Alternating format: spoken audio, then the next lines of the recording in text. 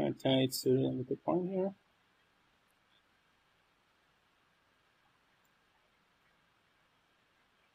It'd be pretty nice to get a walk.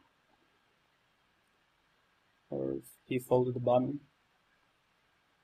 Uh, Sir, Sergey Berezin opens the button. I expect him to open a decent amount here because A, he thinks I'm going to play tight, and B, he doesn't expect Pimes to be active that often.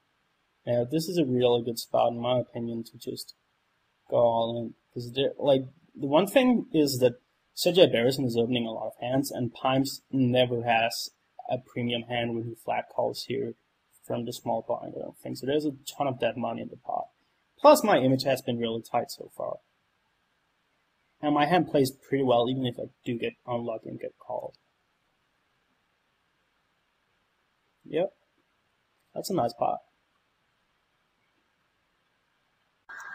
So I feel like that's a pretty good example of me just, like, not getting frustrated even though people are opening a lot, and just waiting to squeeze until I have a legitimately good spot.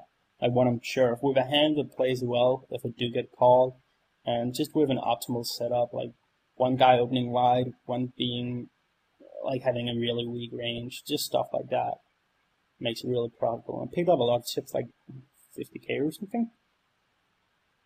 Like that adds a lot of value to my stack right now. And like it, it means that I can just like sit around for a while and like at the pace that people are racing and shoving here, like it's so extreme that I can hopefully just sit around and I know this sounds weak tied, it's not really. I will obviously take a good spot if it comes, but I can just sit around for a bit and wait for people to bust each other. Alright, there's a break here on post Camtasia. now, I made an error here. As you can see, Mormon is here no more. And it was just me being really dumb with Camtasia and not realizing that that he had busted. That's a little embarrassing. I'm sorry about that. But he's not with us anymore. He busted to um, Sergey Berezin. And to be honest, I don't even remember the hand. But um, yeah, that's that's not gonna happen again. I promise that. But I was a little late with with turning Camtasia back on. So we're six-handed now. And again, like a pretty interesting pot brewing between Ronald Grauer and Pimes here. There are certainly like a wide range of different hands they both could have at this point.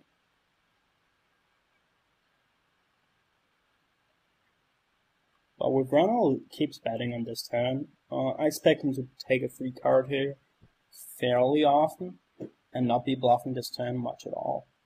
Because I don't think he's going to make Pimes fold that many value hands. So I expect him, my guess would be that he has a a good hand here for the most part.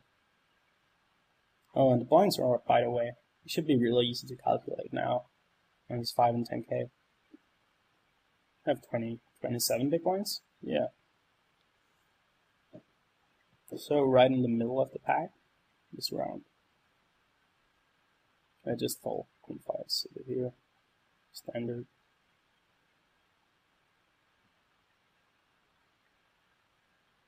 and ship it off, ships it in. Also kind of expected at this point.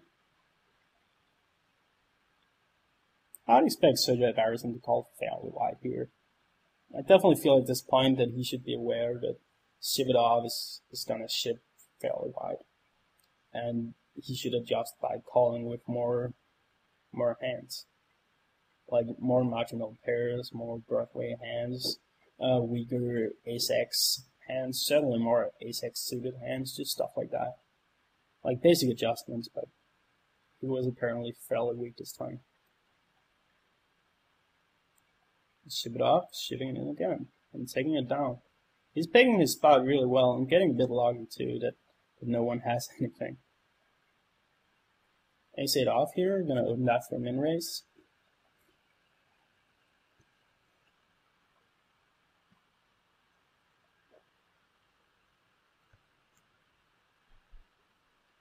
And now it's my turn to get shoved on. But I'm gonna pass out on this one. I just, it's too marginal. I would say I would have called there with ace 10 off. Ace 9 off would be close, but I would fold that as well.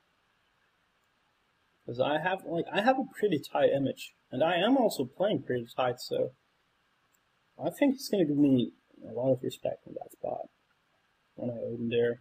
And especially when the big blind has 15 big blinds as well, like I'm not gonna be opening pure trash there all that often. Alright, and here we have just snaps. Yeah, obviously really standard for both players. It's a good good shove by fighting chicken. It's just 15 big blinds, and Sergio Barros and his queen, so easy game. So if I had to evaluate my own uh, my own play in this video, I'd say I do pretty well for the most part, but I did miss some spots. Um, the king 10 suited hands stands out. The 10s were probably a bit marginal, got really lucky there, and, and I made some mistakes heads up. But overall, I do think I played pretty well. Um, if you guys have any comments or suggestions at all to how I can make the next video even better, I would really appreciate if you could put it in the comment box. Um, that's all for now. Thanks for watching, and this is uh, Mickey Petersen signing off.